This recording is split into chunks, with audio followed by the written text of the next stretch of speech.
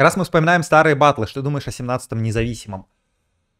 Ой, 17-й независимый был уникальным событием абсолютно. То есть это событие, которое требует осмысления на самом деле. Это было очень круто. Это было головокружительно как-то. Это было прям вау. И, надо сказать, с него вышло очень много песен. Прям хороших песен, которые я иногда слушаю. Я иногда устраиваю себе марафон по семнашке. Прям открываю и слушаю треки с этого батла. Хотя прошло 2-3 года. Дофига. Батл, су... Батл куплен, судьи, как человек, который пусть недолго, но был в судьях, полностью с тобой согласен.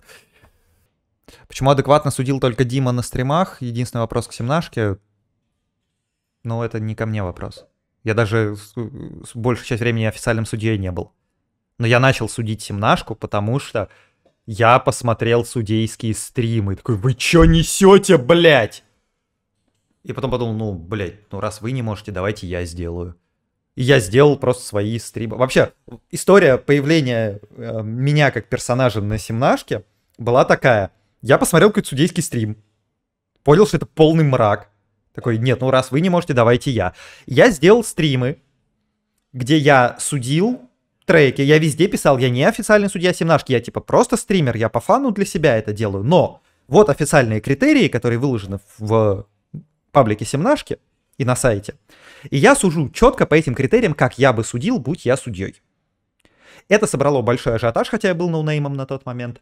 Меня пригласили официально судить э, видеоклиповую часть батла, после чего выгнали оттуда, потому что ей не понравился местной тусовочке. А... Люди продолжили смотреть мои реакции. То есть, ну, у меня были онлайны в несколько сотен человек. У меня там пиковый онлайн был человек 600, наверное, при том, что у меня было 2000 подписчиков. Ну, то есть, я вообще был никто.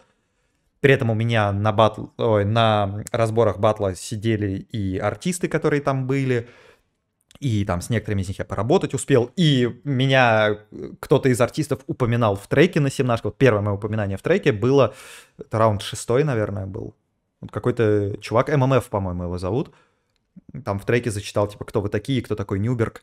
Это вот первый раз, когда меня вот прям массово заметила аудитория музыкальная. Так что я семнашке тоже многим обязан. Какаум Синрикё и повод Google посетить я подарил идиотам И из туннеля ветерок скоро Зарин принесет вам не все так страшно, ведь известно число выживших При газовой атаке просто надо прыгнуть выше всех Слабые вновь воспрянули Делает работу норадреналин Усталый голос, будто я читаю